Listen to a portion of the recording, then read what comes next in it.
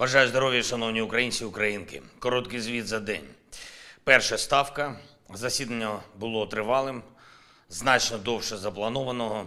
Детально розібрали ситуацію на передовій. Усі напрямки, ті, де тримаємо оборону, ті, де крок за кроком рухаємось вперед. Доповідали командувачі, главком, залужний генерал, сирський генерал, Тарнавський детально проговорили, як саме, в які терміни, яким забезпеченням, якою логістикою буде більший результат для України. Виробництво боєприпасів та зброї в Україні нашим оборонно-промисловим комплексом. Максимально спрощуємо всі процедури, прибираємо всю бюрократію, яка ще заважає виробникам, доповідав міністр стратегпрому Камишин. Результат буде. Чорне море та продовольчий експорт, безпека наших портів. Доповідали командувач ВМС, урядовці, керівники розвідки. Хай російські терористи навіть не сподіваються, що їм вдасться спровокувати глобальну продовольчу кризу чи створити чергову цінову катастрофу. Український продовольчий експорт це ключовий фактор стабільності продовольчих ринків. І працюємо з усіма нашими партнерами і в регіоні, і загалом в світі, щоб гарантувати продовольчу безпеку. До речі, завтра в Джиді, в Саудівській Аравії, почнеться зустріч радників голів держав та представників МЗС щодо формули миру. Багато країн будуть представлені, різні континенти, зокрема і держави глобального півдня.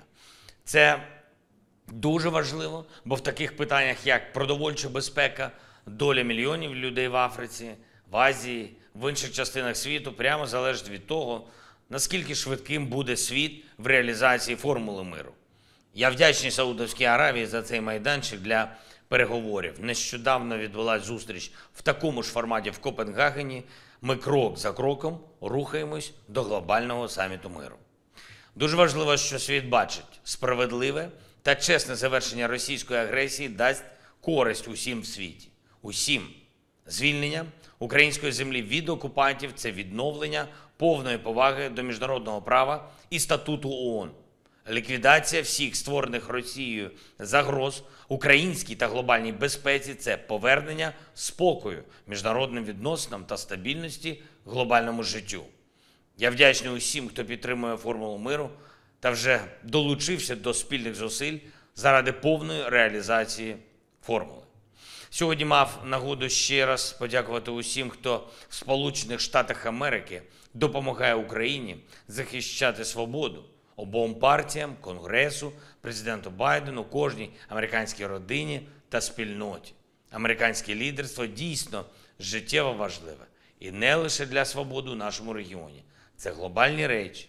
І на зустрічі з Крістофером Крісті, одним із впливових діячів американської політики, членом республіканської партії, ми говорили саме про те, наскільки важливо посилювати підтримку свободи, підтримку демократії. Я вдячний за те, що пан Крісті із тих людей, хто прагне бачити ситуацію на власні очі.